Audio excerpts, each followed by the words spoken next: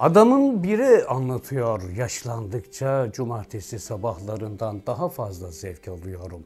Belki de bunun sebebi ilk uyanan kişi olmanın getirdiği sessiz yalnızlık ya da işte olmak zorunda olmamanın sağladığı sınırsız mutluluktur.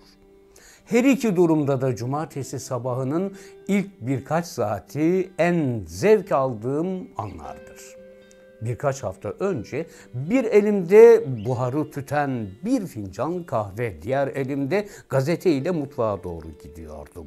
Sıradan bir cumartesi sabahı ile başlayan gün hayatın zaman zaman bize verdiği derslerden biri haline geldi. Size anlatayım.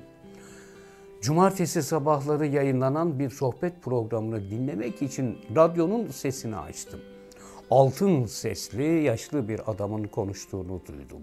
Tom adında biriyle bin misket hakkında konuşuyordu. Söylediklerini merakla dinlemeye başladım. Tom işinle çok meşhur ol gibi görünüyorsun. Eminim iyi maaş alıyorsundur. Ama ailenden ve evinden bu kadar uzak olmak çok ayıp genç bir adamın iki yakasını bir araya getirmek için haftada 60 veya 70 saat çalışmak zorunda kalmasına inanmak gerçekten çok zor. Kızının dans gösterilerini kaçırmış olmanın gerçekten çok büyük bir ayıbı yok mu? Ve devam etti. Sana bir şey anlatacağım.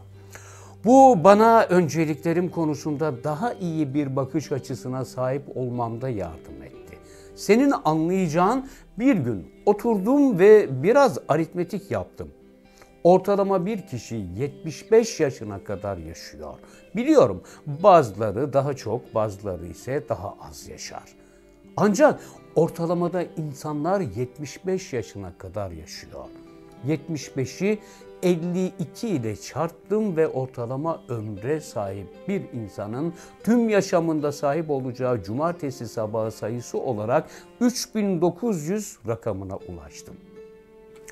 Tom şimdi beni iyi dinle. En önemli kısmına geliyorum. Bütün bunları ayrıntılı olarak düşünmeye 55 yaşında başladım ve devam etti. Bu yaşıma kadar 280'in üzerinde cumartesi yaşadım.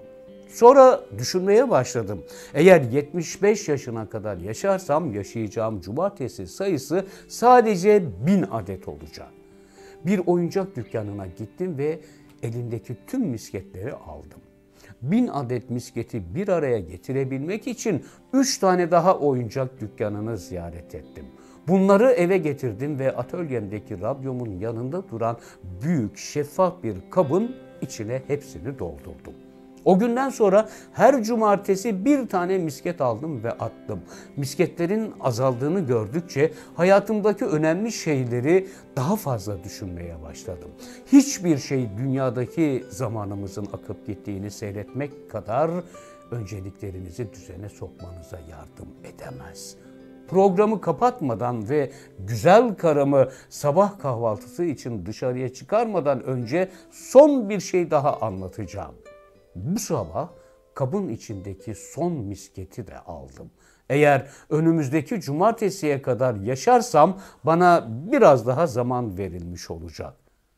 Hepinizin kullanabileceği şey biraz daha zamandır sevgili dostlar. Dostça kalın.